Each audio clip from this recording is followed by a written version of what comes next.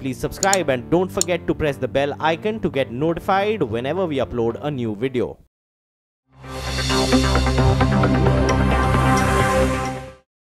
कृष्णा मित्रू जी खुद एक घर खरीदार हैं और काफ़ी समय से खरीदारों के हितों के लिए लड़ रहे हैं। वो देश के प्रधानमंत्री और प्रदेश के मुख्यमंत्री से कुछ कहना चाहते हैं। मैं कृष्ण मित्रू हूँ नोएडा जेपी विस्टाउन का एक होम बायर। 2011 में मैंने एक flat J P Wish Town Klassic में बुक किया था। बार बार चेक करने के बाद आज तक ये सिचुएशन है कि जे पी विस्टाउन क्लासिक में जो मैंने फ़्लैट बुक किया है, उसका मिलने का अगले कम से कम दो तीन साल तक कोई अंदेशा नज़र नहीं आ रहा। इस बारे में जे पी विस्टाउन के बहुत सारे ऐसे बायर हैं, बल्कि नोएडा क्षेत्र के बहुत सारे बिल्डर्स की की फ्लैट्स की पोजेशन जो है ड्यू है और बहुत सारे बायर्स बिल्डर से दुखी हैं क्योंकि उन्होंने इन्वेस्टमेंट कर दी है और उनके मिलने के कोई आसार नज़र नहीं आ रहे। इस बारे में हम नोएडा अधिकारियों से सबसे मिले हैं। योगी जी से जो चीफ मिनिस्टर हैं यूपी के, उनसे भी 27 अप्रैल 2017 को मिले थे। उन्होंने प्रॉमिस किया था कि वो होम बायर्स के हित की बात करेंगे और होम बायर्स के जल्दी से जल्दी फ्लैट्स मिल जाने के लिए कोई ना कोई कार्रवाई करेंगे। इसके बाद योगी जी ने तीन मंत्रियों का एक गुट बनाया और उनको ये कार्य सौंपा गया कि बायर्स की की जो दिक्कतें हैं, सुलझाई जाएँ और उनको फ्लैट्स दिए जाएँ। उसके बाद ये तीन मंत्री जी ने वेरियस मीटिंग्स करी और बायर्स के साथ आज तक कोई मीटिंग नहीं हुई। अगर हुई भी है तो आ, हमारे संज्ञान में नहीं है।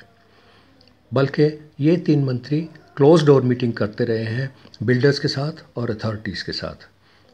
बायर्स को साइडलाइन कर दिया गया है। आ, इसके बावजूद कि योगी जी ने ट्रांसपेरेंसी प्रॉमिस करी थी। चार दिसंबर को जो मंत्रियों ने एक मीटिंग ली थी इंडिया हैबिटेट सेंटर में, वो मीटिंग मैं खुद अटेंड करने गया था और मुझे वहाँ से मंत्री जी ने उस मीटिंग में से निकाल दिया। ये कह के कि ये मीटिंग आपके लिए नहीं है, नोएडा अथॉरिटीज़ के साथ हम मीटिंग कर रहे हैं और आपके हित में कर रहे हैं। अगर मेरे हित में मीटिंग थी, अगर होम बायर्स के हित में ये मीटिंग थी तो मुझे क्यों नहीं अटेंड करने दिया? हम और तीन चार बायर्स थे जो फ़र्क फ़र्क प्रोजेक्ट्स को रिप्रेजेंट कर रहे थे, हमें किसी को मीटिंग अटेंड नहीं करने दी। मीटिंग के बाद जब मैंने मंत्री जी से, शाम तक वेट करने के बाद जब मंत्री जी से पूछा तो खन्ना जी ने मेरे को जवाब दिया कि जेपी विश टाउन हमारे परव्यू में नहीं आता क्योंकि वो आईबीसी के अंडर आ गया है।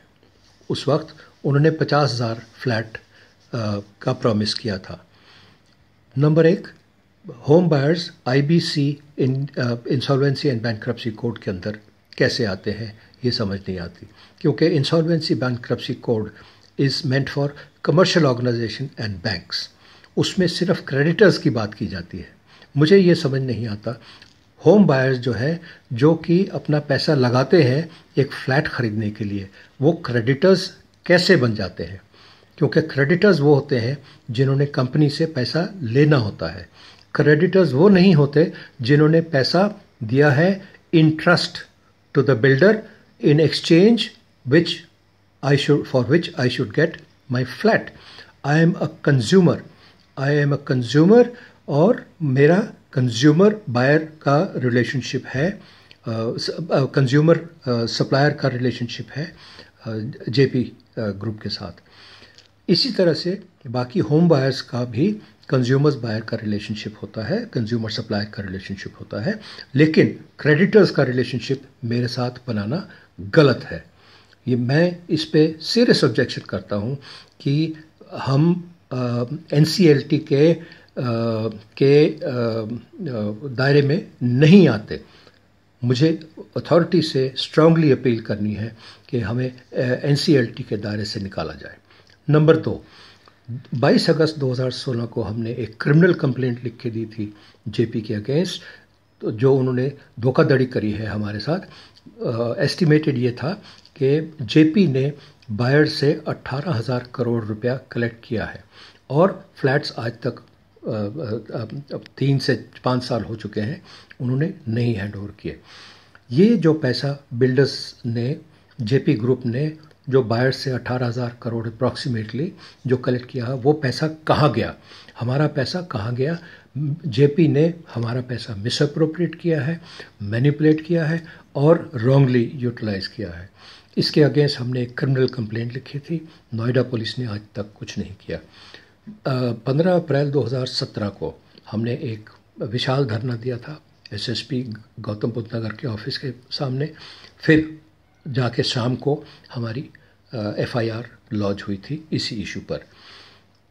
15 अप्रैल 2017 के बाद आज तक उस एफआईआर में कोई एक्शन नहीं हुआ। हमने आरटीआई डाल के जवाब लिए हैं। पुलिस कहती है इन्वेस्टिगेशन इज़ इन प्रोग्रेस अरे, क्या प्रोग्रेस है? हमें बताओ तो सही क्या प्रोग्रेस है। हम, हमारे तरफ़ से लगता है कोई प्रोग्रेस नहीं है। क्योंकि मैंने उनतीस सितंबर 2017 को एक chief judicial magistrate Gautam Nagar Gautam Buddh Nagar की कोर्ट में एक एप्लीकेशन दायर की थी, जिसमें मैंने ये कहा था कि पुलिस से मेरी प्रोग्रेस रिपोर्ट दिलवाई जाए इस इस इन्वेस्टिगेशन के बारे में। वहाँ पे भी पुलिस ने जवाब दिया कि investigation is in progress. What kind of investigation are is the police doing for the last sixteen to eighteen months I do not understand F I R होने के बावजूद आठ महीने में आपने क्या काम किया? ये सब झूठ बोल रहे हैं। पुलिस वालों ने कुछ नहीं किया। नोएडा अथॉरिटी ने कुछ नहीं किया।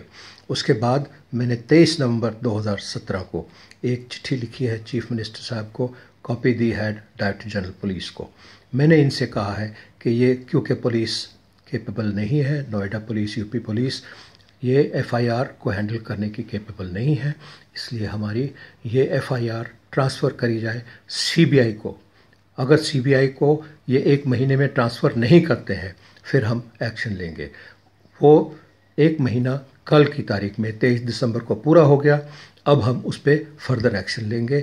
आज की आज के दिन में हमें मोदी सरकार से कोई उम्मीद नहीं है कि योगी जी सरकार से कोई उम्मीद नहीं है कि हमारे को कोई रिलीफ मिलेगा।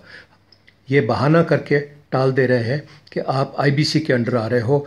सरकार को ये नहीं दिखता कि हम गलत तरीके से आईबीसी के अंदर लाए गए हैं। हम क्रेडिटर्स नहीं हैं। जहाँ पचास हज़ार फ्लैट का वादा किया था, आज एक महीने में या बीस दिन में आज मोदी सरकार कह रही है, हम तीस हज़ार फ्लैट्स देंगे। ये एक महीने में पचास हज़ार से तीस हज़ार फ्लैट कम कैसे हो गए? सरकार हर बार फ़र्क फ़र्क स्टैंड लेती है, फ़र्क फ़र्क स्टेटमेंट देती है, किस पे यकीन किया जाए, किस पे न यकीन किया जाए। ये मुझे लगता है कि सिर्फ़ सरकार पे फ्रॉड नहीं है। ये ये सरकार टोटल एडमिनिस्ट्रेशन के साथ मिलके बायर्स के ऊपर फ्रॉड कर रही है। इसकी सीबीआई के साथ नहीं, इसके बड़ी से बड़ी एजेंसीज के साथ जाँच होनी चाहिए।